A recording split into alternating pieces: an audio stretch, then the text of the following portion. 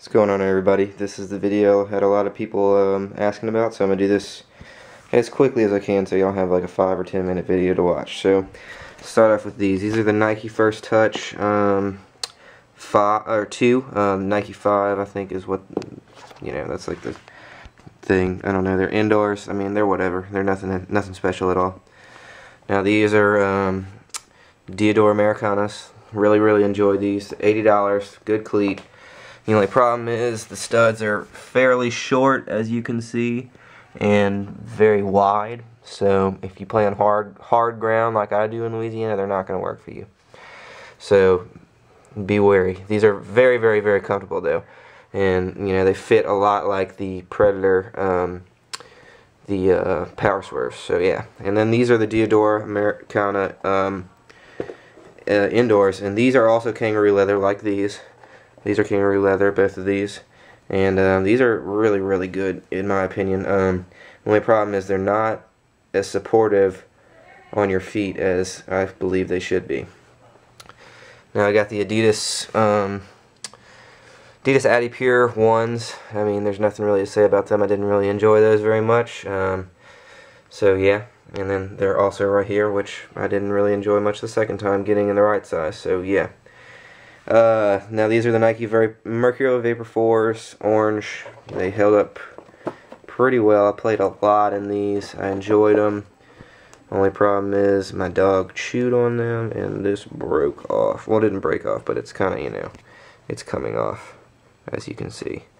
Um, now we got the Nike Tiempo Legends. Yeah, they're, I mean, there's nothing special about these. They're just a subpar cleat, so I don't really have anything else to say about them. I enjoyed them.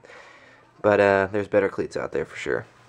Now this is the Adidas Predator Power Swerves. These were, before I got the next cleat, after I show you these Power Swerves, these were, in my opinion, the best cleats I ever wore.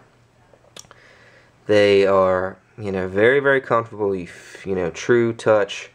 Feels like you're, you know, it's it fits to your foot very well, so where you feel the ball. You know, a lot of cleats you don't feel like you're kicking barefoot, but these are one of those cleats, and I highly re recommend these. So if you are looking for a good cleat, I recommend these a lot. And now these are the same ones, different colorway, black and white. Uh, I liked them so much, I got another pair, and um, I liked them again. So, but uh, I kind of got a little bit tired of them. I wanted something different, so I went with these CTR 360 Maestris, and I couldn't have made a better decision. Um, these were, without a doubt, one of the best pair of cleats. Actually, I take that back. These are the best cleats I've ever worn. Um, these and the Vapor 4s, no, Vapor 6, sorry, not 4s, um, were, you know, they're unbelievably good cleats. I really, really highly enjoyed them. And uh, mainly because the, they're so comfortable and the traction, the stud system is amazing in these. You know, they got these bladed studs, which in where I'm from, I'm from Louisiana, and the ground's very hard, and you have to have bladed studs to play. Now, the touch is excellent on these. I really highly recommend these. The only problem was that I got them a half size too small because I thought they would stretch, and they didn't. So I went ahead and got these. Really, really enjoy them, you know. They finally fit my feet perfectly, super duper soft, and I love them. Now, these last two the uh, T90 Laser 3s and the Predator Absolados are for sale.